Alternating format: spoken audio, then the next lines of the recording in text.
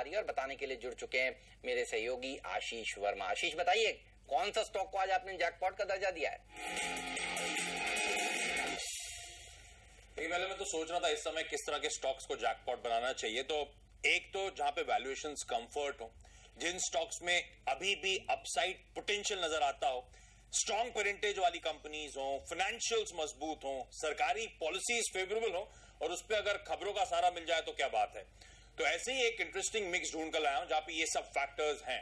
और वो कंपनी है सरकारी नवरत्न कंपनी जो आज खबरों में है जिसकी आप लोग लगातार चर्चा कर रहे हैं। आरईसी e यानी कि रूरल इलेक्ट्रिफिकेशन कॉर्पोरेशन ये कंपनी बेहद इंटरेस्टिंग है। 1969 में जब इस कंपनी का गठन हुआ था तब देश में सूखा पड़ा हुआ था। तब उस समय पॉलिटिकल लीडर्स की ये चाहत ये, ये चाह थी कि हमारे एग्रीकल्चर का डिपेंडेंस जो है मानसून पे कम करा जाए। जो डीजल जेनसेट्स हैं या एग्रीकल्चर जेनसेट्स हैं उन्हें एनर्जाइज करा जाए। और उस लॉजिक से इस कंपनी का गठन हुआ था। पर उसके बाद ओवर द इयर्स इसने नए पाथ्स में उतरी नए होराइजन में डाइवर्सिफाई करा।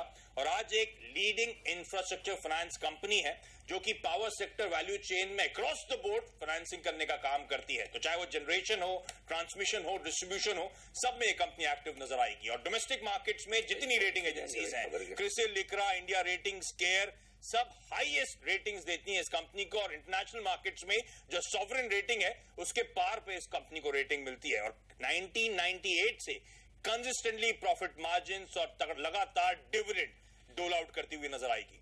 लेकिन ये स्टॉक मई के महीने में इस साल दो सौ चौबीस रुपए के हाई से ठंडा पड़ता हुआ नज़र आया था। 33 परसेंट वहाँ से नीचे कामकाज कर रहा है। क्यों? क्योंकि इस कंपनी के फाइनेंशियल थोड़ा प्रेशर था। एनआईएम्स लगातार कमज़ोर हुए थे और उसका इंपैक्ट अर्निंग्स पे देखने को मिला था। और उसका बड़ी वजह ध्यान रखें जो उदय स्कीम की हम लगातार बात करते हैं इस कंपनी ने सरकार वेरियस स्टेट्स को 78,000 करोड़ रुपीस के आसपास कर्ज दिया हुआ है। उदय स्कीम के चलते 75 परसेंट कर्ज कन्वर्ट कर दिया गया था स्टेट गवर्नमेंट बॉन्ड्स में।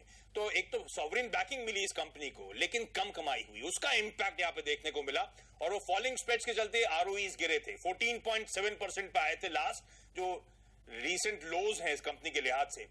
पर जो उदय स्कीम के बाद कहा जा रहा है पावर सेक्टर में cross power value chain structural improvement जो हो रहा है, उसके चलते आर आसानी से वापस 15-16 परसेंट के आसपास आपको पहुँचते हुए नज़र आएँगे। इनफैक्ट मार्जिन फ्रंट पे भी जो एनाम्स में कह रहा हूँ प्रेशर में थे वॉल्यूम्स पिकअप होंगे तो मार्जिन का आसानी से टेक केयर होता हुआ नज़र आएगा। एनपीएस के हम आमतौर पर बात करते हैं ग्रॉस एनपीएस इंप्रूव होते हुए सिक्वेंशली आपको इस कंपनी के नज़र आएँगे, और इस कंपनी की खासियत यह है कि कंजर्वेटिव रही है, हमेशा आरबीआई के नॉर्म्स को फॉलो करा है और अपने पीएस जो स्पेस में उनके सामने तो कभी भी इसने कोई निगेटिव सरप्राइज़ स्प्रिंग अप नहीं करा है।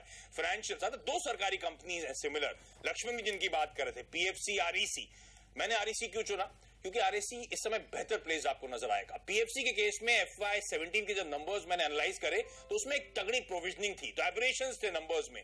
आरईसी के फाइनेंशियल्स में कोई दिक्कत नहीं, आपकी स्क्रीन पे साढ़े सवा छह हज़ार करोड़ के मुनाफे के सामने, उनतीस हज़ार करोड़ का मार्केट कैप पी महज फोर पॉइंट सेवन टाइम्स पे आपको नज़र आएगा, ये मैं एफ़ वाई सेवनटीन के एक्चुअल अर्निंग की बात कर रहा हूँ। कोई फ्यूचर प्रोजेक्शन की बात नहीं कर रहा हूँ। बेहद स्ट्रॉन्ग शेयर होल्डिंग है। सरकार का इस कंपनी में 59 परसेंट स्टेक है।